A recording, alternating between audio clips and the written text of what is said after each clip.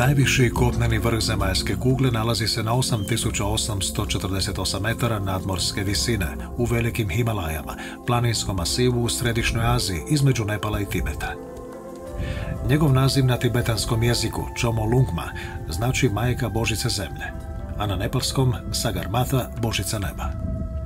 Ostatak svijeta prihvatio je naziv kojim je u 19. stoljeću prozvan po britanskom istraživaču Južne Azije Sir Georgeu Everestu. Dugo se vjerovalo da je Mount Everest zbog izoliranosti, nedostatka kisika, niske temperature i smrtonosnih lavina neosvojiv. Razvojem modernog alpinizma od 20. godina 20. stoljeća brojni su avanturisti i alpinisti pokušavali, no neuspješno i uz brojne žrtve. Prva ekspedicija koja je uspješno izvršila tu misiju bila je pod zapovjedništvom Britanca Johna Hunta. Uz njega su bili najpriznatiji britanski alpinisti i iskusni, na visine naviknuti pripadnici nepalskog naroda Šerpa. Povijesni pothvat ostvarili su 29. svibnja 1953. novozelandski alpinist Edmund Hillary i Šerpa Tenzing Norgay.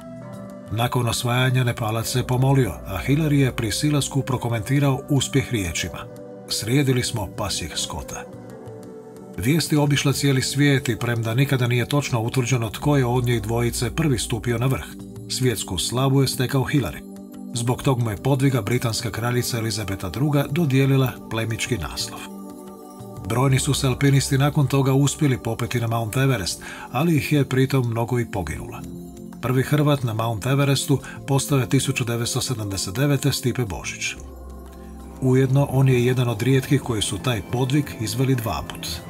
Veliki uspjeh u osvajanju Mount Everesta izvela i hrvatska ženska alpinistička ekspedicija u svibnju 2009. Prve su na krov svijeta kročile sestre Darija Iris Bostjančić.